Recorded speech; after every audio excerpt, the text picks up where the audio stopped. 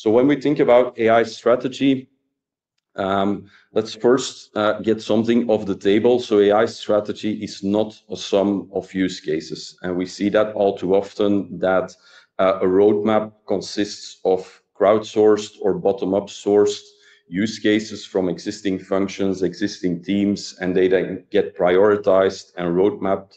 Uh, and that is uh, the AI strategy.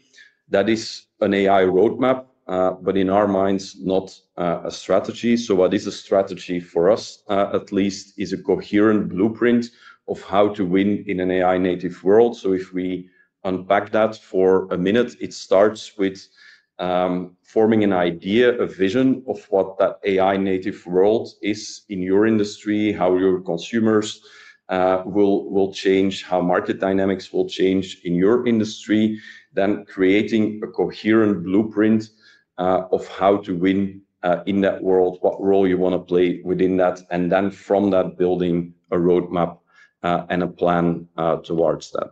So if we work through this step by step, um, this is the AI strategy framework that we use Uh, in in our work, which starts with the AI market drivers at the top, the elements of the AI strategy itself, the AI roadmap, and then the AI enablers. But I'll uh, quickly take you through uh, all of them.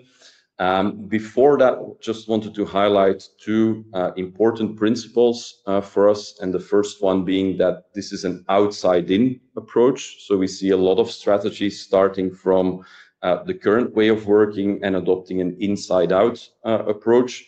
So we deliberately start from what are uh, the AI market drivers, what will change in your industry because of AI, what won't change, and then using that as an outside-in view to um, form your strategy against.